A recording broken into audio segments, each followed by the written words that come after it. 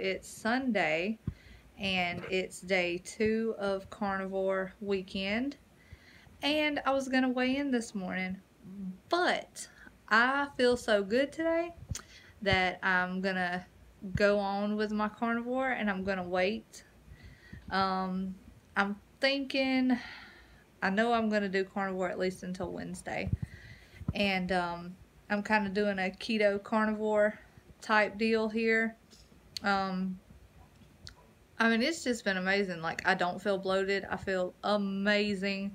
I have super good amounts of energy and I've just never felt this good before. So I'm going to keep going with carnivore for a few more days. And, um, let's see. I have ate like steak every single meal. It's good. I don't see the problem. And I just feel really good. This is the best I've felt in a while.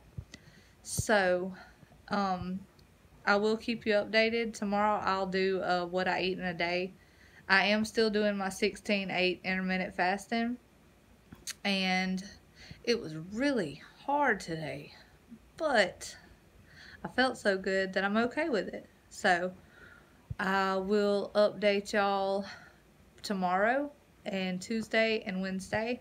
And then I'm probably going to take a break and eat some cream spinach because anybody that has ever watched my videos knows I love me some cream spinach and I really do like it and I love it and I really want some of it. So I'm thinking probably Wednesday I'll no, I'm going to go all the way through Wednesday. Thursday I will have me some cream spinach. And don't worry, I already have it made. I have it frozen in the freezer, just waiting on me to take it out and eat it. So, that's been our weekend. Um, I ate the carne piccata with a little bit of cheese on it, like twice yesterday. That was what I ate yesterday.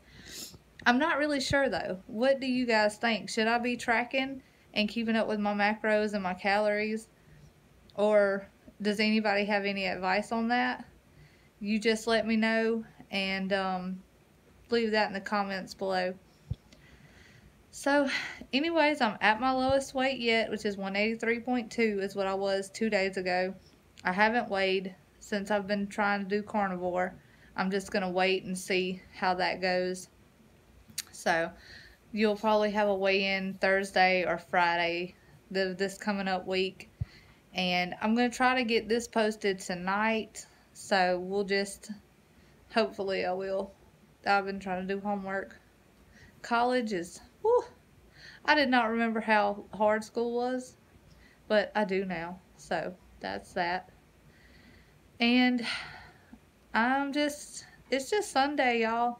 I'm just kind of hanging out. I haven't really worked out. I haven't done anything. I've been washing clothes it feels like for two days straight, which I really probably have.